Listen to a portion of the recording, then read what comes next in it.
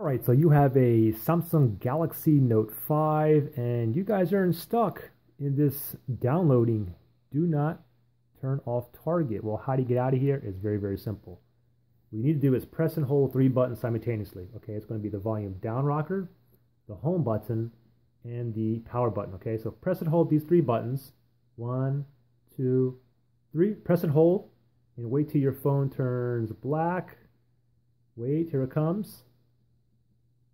Now let go, okay? And now what's going to happen, your phone is going to reboot and you should be back into the uh, normal OS. Uh, if it doesn't reboot, then simply press the power button. Now, if you held the three buttons too long, you'll be getting into this screen here, which says warning, but do not fear. The only thing you got to do now is go ahead and press volume down to cancel and restart.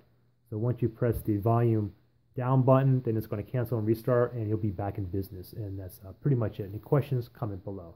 Thanks for watching, guys.